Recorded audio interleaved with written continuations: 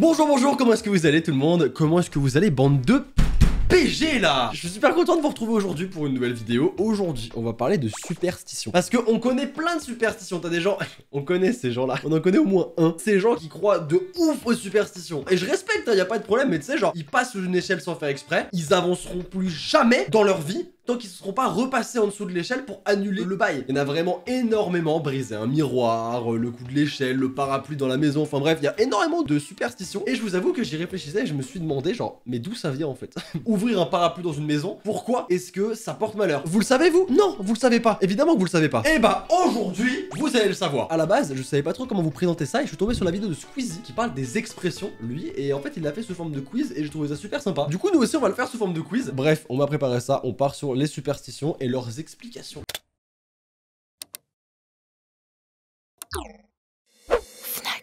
Bonjour bonjour, aujourd'hui je vais vous parler d'un manga que vous connaissez absolument tous et si c'est pas le cas c'est le moment ou jamais. Ça vient de chez Kazé, on va parler de The Promised Neverland. On y est enfin, après les avoir fait vivre de la joie, de la tristesse, de la peur, The Promised Neverland rentre dans sa conclusion finale avec ce 20 e tome. Si vous ne connaissez pas encore l'histoire, je vais vous résumer ça. On va suivre Norman, Ray et Emma qui sont tous les trois enfermés dans un orphelinat, Gracefield House. Tout semble parfaitement normal jusqu'au jour où Emma et Norman vont découvrir un terrible secret. Ils vont voir quelque chose qu'ils auraient jamais dû voir. Et croyez-moi, vous comme moi, euh, on n'aurait pas voulu le voir non plus. Hein. C'est quelque chose qu'on aurait voulu éviter. Et je m'arrête là, je peux pas vous en dire plus parce que sinon je vous spoil, mais croyez-moi, cette histoire, elle va vous prendre le cœur, le lancer par terre, le piétiner, le ramasser, le caresser un petit peu, puis le relancer par terre pour le repiétiner. C'est très dur, mais c'est ça qu'on aime au final. C'est quand les mangas nous procurent des émotions, et croyez-moi, avec The Promised Neverland, vous allez en vivre des émotions. Bref, The Promised Neverland est un manga culte, son histoire a fait ses preuves, on va enfin pouvoir découvrir la fin de l'aventure de Ray, Norman et Emma, ne ratez pas ça.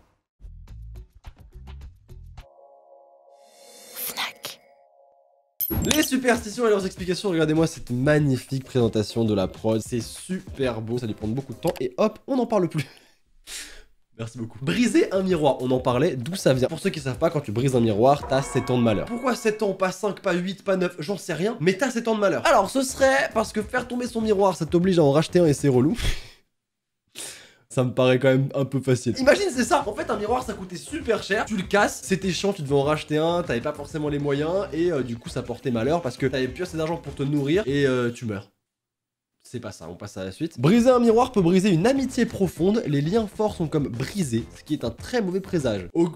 ouais, selon certaines croyances, briser un miroir est un sacrilège, refuge de démons, cet accident les laisserait s'échapper. Ah, c'est ça, mais c'est sûr c'est ça Parce que dans les films d'horreur, il y a toujours un bail avec le miroir, tu sais, genre, t'as toujours cette scène où il y a le gars, il se regarde dans le miroir, et au final, le reflet du miroir bouge, et pas le mec. C'est sûr, c'est un refuge de démons, c'est sûr. Ou alors, c'est une vraie malédiction, le nombre de morceaux tombés au sol désigne le nombre d'années de malheur. Il y a ça aussi, il y en a certains qui disent qu'apparemment, le nombre de morceaux qui tombent, c'est le nombre d'années de malheur, ça peut aller très vite très haut. Moi, pour moi, c'est le certaines croyances, briser un miroir, c'est le sacrilège de démons, là, je sais pas quoi.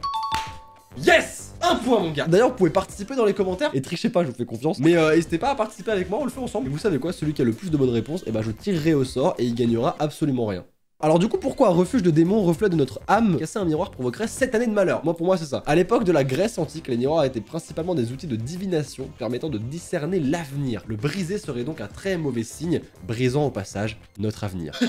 encore pire quand tu le sais. Du coup, maintenant, quand vous allez briser un miroir, vous allez plus dire Oh non, c'est ton malheur. Vous allez dire Oh non, j'ai brisé mon avenir. Le chat noir. Alors pour moi, le chat noir, c'est quand euh, bah, t'en croises un la nuit, ça porte malheur. Encore une fois, est-ce que ça aurait pas un rapport avec les sorcières ou je sais pas quoi ça? Alors, au Moyen-Âge, les sorcières étaient accompagnées d'un chat noir comme animal de compagnie. C'est ça. Je lis la suite, mais c'est ça. Selon une étude anglaise, ce sont les chats les plus agressifs. Nous ne savons pas pourquoi, mais la couleur de leur pelage les rendrait plus sauvages.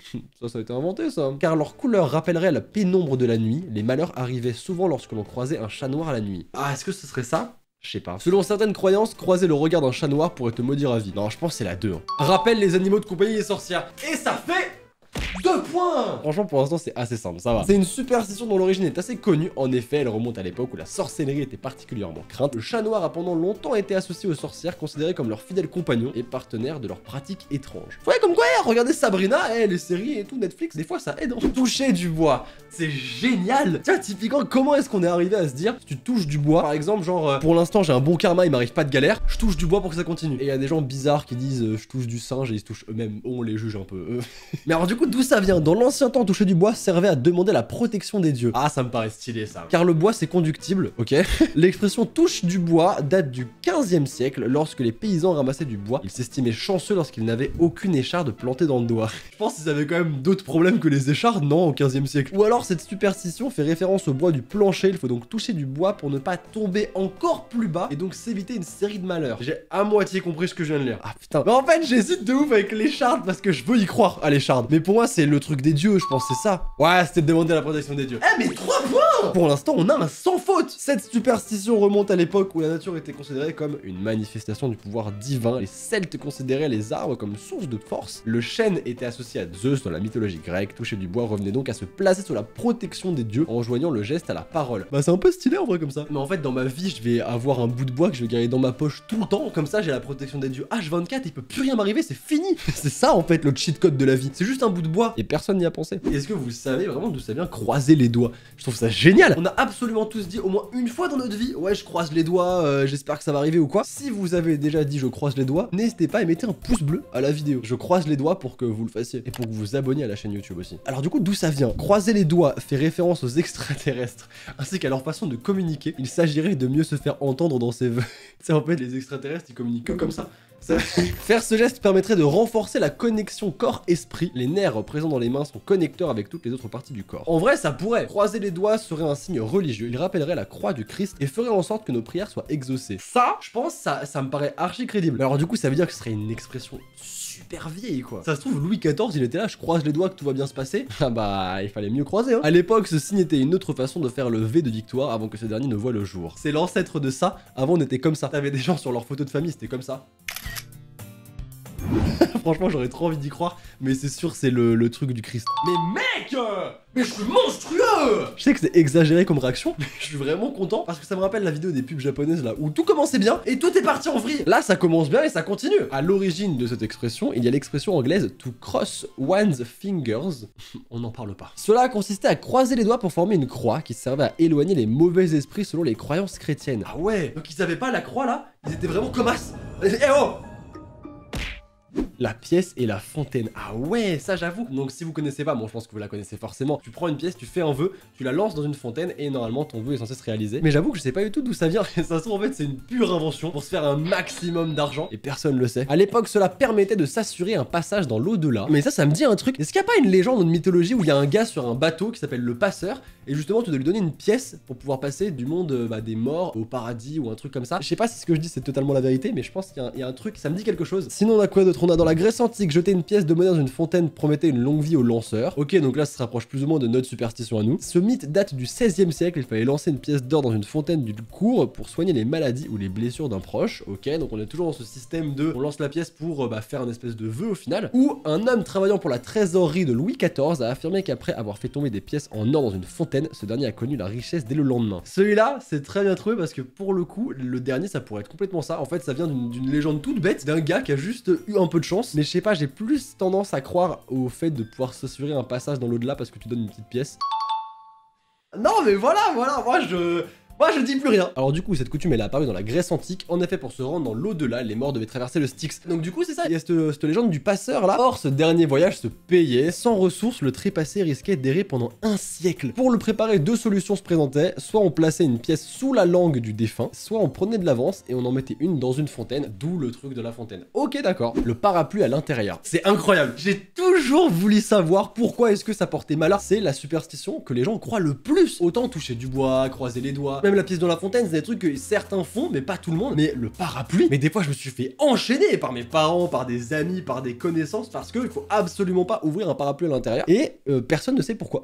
personne ne sait d'où ça vient. Et du coup, quelles sont les propositions? Les premiers parapluies étaient fabriqués à l'aide de matières très inflammables. L'ouvrir à l'intérieur était un risque qu'ils prennent feu à cause des bougies, des torches, etc. Ça, totalement crédible. En vrai, c'est possible. Ouvrir un parapluie à l'intérieur est très dangereux. À l'époque, il pouvait même tuer quelqu'un avec ses baleines. Pas l'animal, non mais s'il vous plaît, faites un effort. hein. Pas l'animal, l'espèce de d'arceau en métal, ça s'appelle les baleines. Rappel des armes que les soldats utilisaient durant la guerre. Ouvrir un parapluie dans une maison était très mal perçu. Pire, c'était même un présage d'une mort funeste. Ah, j'avoue. Putain, c'est dur Parce que je pense que ouais, quand t'es petit, tu utilises forcément euh, le parapluie un peu comme une arme ou quoi, c'est possible que ce soit arrivé. Et la dernière, avant que la superstition ne voie le jour, il ne fallait pas ouvrir un parapluie à l'intérieur d'une maison, car cela pouvait simplement réveiller un bébé qui dort. Ouais, bon là, frère, à un moment, c'est bon, quoi. Tu peux plus vivre, en fait. Non, non, c'est pas ça. En vrai, c'est entre les trois premiers. Bah, je vais dire le numéro 1, le, le truc des matières inflammables. Les trois premiers sont crédibles, mais j'avoue, je vais écouter, je vais dire le premier.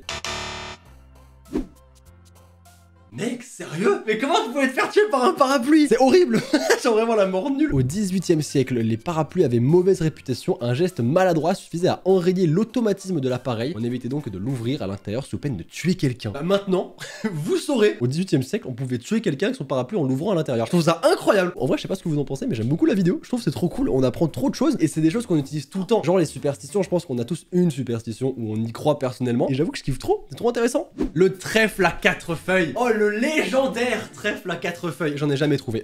c'est un des goals de ma vie, je pense, c'est vraiment en trouver un. Alors, à l'époque, on pensait que ce trèfle était doté d'une composition permettant de faire des miracles. Entre filtres d'amour, anti-venin et autres, les magiciens en étaient fous. Ça, je pense, c'est le truc genre série film. Mais je sais pas si c'est possible que ce soit vraiment euh, sur quoi on se base avec le trèfle à quatre feuilles. De par sa rareté, le trèfle à quatre feuilles promettait richesse et pouvoir à celui ou celle qui parviendrait à le trouver. Ouah, ça, ça me paraît un peu trop aussi. Il pouvait attirer des lutins avec leur chaudron rempli d'or. La légende raconte même qu'un arc-en-ciel pousserait à l'endroit de la cueillette du trèfle. Ça, j'ai envie d'y croire. Au Moyen-Âge, trouver un trèfle à quatre feuilles permettait de soigner sa maladie, quelle qu'elle soit. Putain, c'est dur ah, je, sais pas Je pense que je vais dire le truc des lutins avec leur chaudron d'or, j'ai vraiment envie d'y croire.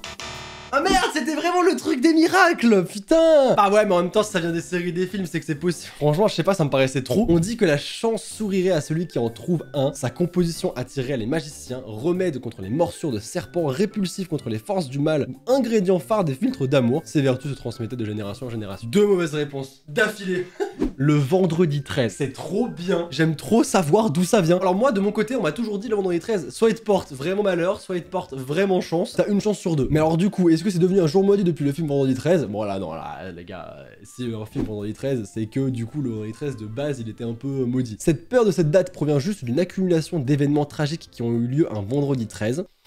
Le vendredi 13 fait référence à une violente tempête qui a fait beaucoup de dégâts dans les années 1875. Cette date fait partie de celles qui ont marqué l'histoire et est aujourd'hui un présage d'événements tragiques. Ah ouais? Car au 13e siècle, un enfant de 13 ans a été retrouvé 13 fois dans 13 endroits différents et il s'est fait juger en vendredi 13, 13 ans plus tard, pour usurpation d'identité, 13 noms différents. Ouais, non, mais là, c'est trop C'est impossible que ce soit ça Franchement, c'est ça, c'est incroyable Mais c'est sûr, c'est pas ça. Je pense que c'est la tempête. Juste une accumulation d'événements tragiques qui ont eu lieu un vendredi 13. Mais mec euh, On était si bon Il semblerait qu'un grand nombre d'événements tragiques soient déroulés un vendredi 13, faisant de ce jour une date maudite, en découlerait même une phobie, la paraskevidé 4... Oh frère, à un moment, oh, les gars, la trésophobie, ça va plus vite, enfin... Paraskevidé 4... Paraskevidé... Paraskevidé 4... Paraskevidé... Tri... Paraskevidé 4 phobie Ouais, ça fait, ça, fait plaisir. C'est un vendredi 13 que les Templiers se sont fait arrêter et brûler vifs par Philippe le Bel. C'est aussi lors d'un vendredi 13 que Tupac Shakur a été tué. Un vendredi 13 de l'année 1970, une terrible tempête a fait plus de 300 000 morts au Bangladesh. Le naufrage du Costa Concordia s'est déroulé un vendredi 13. Et c'est vrai que le vendredi 13, c'est un truc qui vraiment, pour le coup, c'est dans le monde entier. Il y a vraiment cette peur du 13. Il y a même des maisons, on saute le 13. Et je trouve ça hallucinant que vraiment le monde entier ait peur de ce chiffre. Le pain à l'envers. Ah ouais, dès que je mettais la baguette sur le dos, je me disais, ouais, le boulanger, il travaille pas sur son dos, je sais pas. Non, on me disait pas ça, mais je me rappelle plus ce qu'on me disait en fait. Mais j'avoue que quand j'étais petit, par contre, on me faisait super souvent la remarque. Donc, retourner du pain et le poser sur une table est une métaphore d'un alignement stellaire inversé. Tu retournes le pain et paf, mauvais karma. Il s'agit juste d'une histoire racontée aux enfants pour leur apprendre à ne pas salir la table, retourner le pain dépose des miettes et sont embêtantes à enlever, et moi non, c'est pas ça. Il s'agit d'une histoire racontée aux enfants pour leur apprendre à ne pas salir la table, retourner le pain dépose des miettes et elles sont embêtantes à enlever. Wesh, il y avait un manque d'inspi là ou? Deux fois le même Selon la légende, le pain retourné sur table attirerait la mort. Ah, franchement, je crois à aucun des trois. Franchement, les deux premiers, c'est pas possible. Ah, c'est la mort, non?